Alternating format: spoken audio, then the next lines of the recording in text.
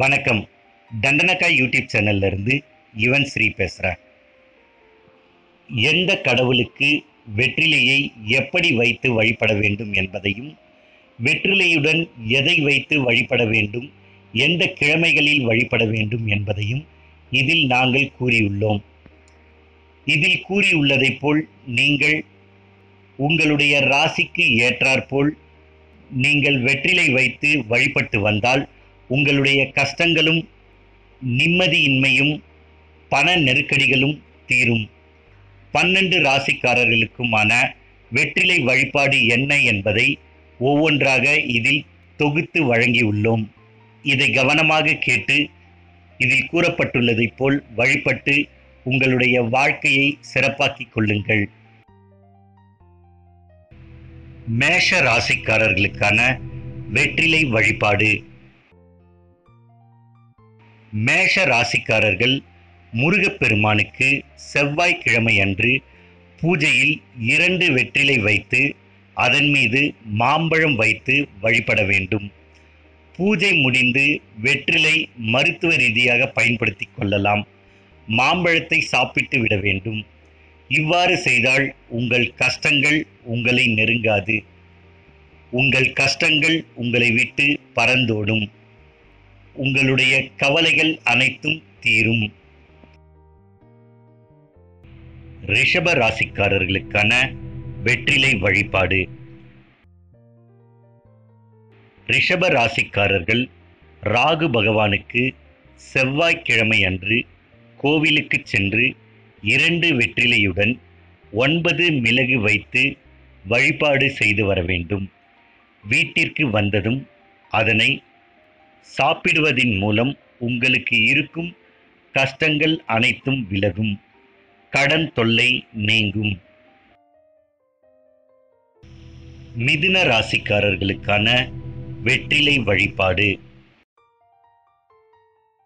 மிதுன ராசிக்காரர்கள் புதன்கிழமை அன்று உங்களது குலதெய்வத்திற்கு இரண்டு வெற்றிலையுடன் இரண்டு வாழைப்பழம் வைத்து வழிபாடு செய்து அதனை சாப்பிட்டால் கஷ்டங்கள் தீரும்.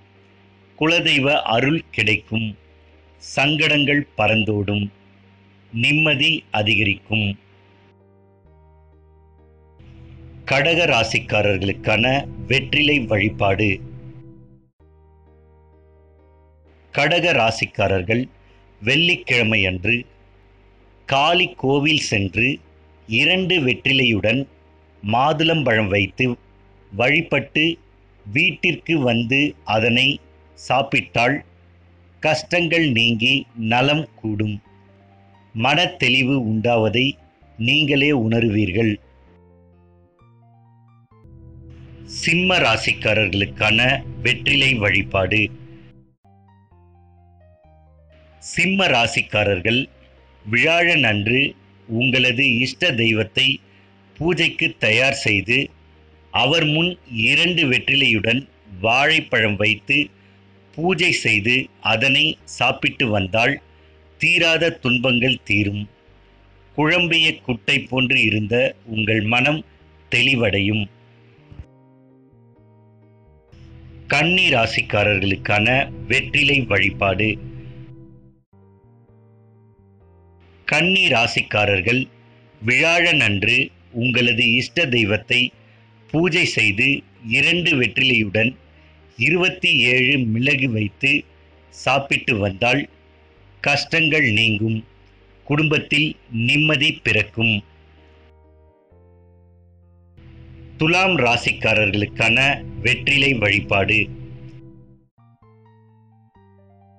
துலாம் ராசிக்காரர்கள் வெள்ளிக்கிழமை அன்று குலதெய்வத்தை பூஜித்து இரண்டு வெற்றிலையுடன் கிராம்பு வைத்து வழிபாடு செய்து பின்னர் அதனை சாப்பிட்டால் பிரச்சனைகள் நீங்கி உங்களுடைய இல்லம் அமைதி அடையும் விருச்சிக ராசிக்காரர்களுக்கான வெற்றிலை வழிபாடு. விருச்சிக ராசிக்காரர்கள் செவ்வாய்க்கிழமை அன்று அம்பிகையை துதித்து இரண்டு வெற்றிலையுடன் பேரிச்சம்பழம் வைத்து வழிபட்டவுடன் சாப்பிட்டால் உங்கள் துன்பங்கள் அனைத்தும் நீங்கும். வாழ்க்கையை வெறுத்தவர் கூட நிம்மதி பெருமூச்சு விடுவீர்கள்.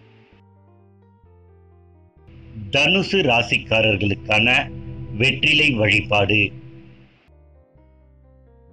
தனுசு ராசிக்காரர்கள் வியாழக்கிழமையன்று முருகனுக்கு இரண்டு வெற்றிலையுடன் சிறிது கற்கண்டு வைத்து வழிபட்டு அதனை சாப்பிட்டு வந்தால் உங்கள் கஷ்டங்கள் நீங்கும் உங்கள் மனதில் நிம்மதி அதிகரிக்கும். மகர ராசிக்காரர்களுக்கான வெற்றிலை வழிபாடு. மகர ராசிக்காரர்கள் சனிக்கிழமை அன்று காளி கோவில் சென்று இரண்டு வெற்றிலையுடன் அச்சு வெள்ளம் சேர்த்து வழிபட்டு பின்னர் வீட்டிற்கு வந்து அதனை சாப்பிட்டால் உங்கள் துன்பங்கள் நீங்கும். கும்ப ராசிக்காரர்களுக்கான வெற்றிலை வழிபாடு. கும்ப ராசிக்காரர்கள் சனிக்கிழமை அன்று காளி கோவில் சென்று இரண்டு வெற்றிலையுடன் நெய் சிறிது சேர்த்து வழிபாடு செய்து பின்னர் வீட்டிற்கு வந்து அதனை உட்கொண்டால் கஷ்டங்கள் நீங்கும். மனதில் உள்ள பாரங்கள் இறங்குவதை நீங்களே உணருவீர்கள். மீன ராசிக்காரர்களுக்கான வெற்றிலை வழிபாடு. மீன ராசிக்காரர்கள் ஞாயிறு அன்று இஷ்ட தெய்வத்தை பூஜைக்கு தயார் செய்து அவர் முன் இரண்டு வெற்றிலையுடன் சர்க்கரை சிறிது வைத்து பூஜை முடிந்ததும் அதனை சாப்பிட்டால் சகல பிணிகளும் தீரும். உங்கள் மனதில் நிம்மதி அதிகரிக்கும். என்ன ரசிகர்களே பன்னெண்டு ராசிக்காரர்களுக்குமான வெற்றிலை வழிபாடு என்ன என்பதை பார்த்திருப்பீர்கள். இந்த வீடியோ உங்களுக்கு பிடிச்சிருந்ததுன்னா உங்கள் நண்பர்களுக்கு ஷேர் செய்யுங்க.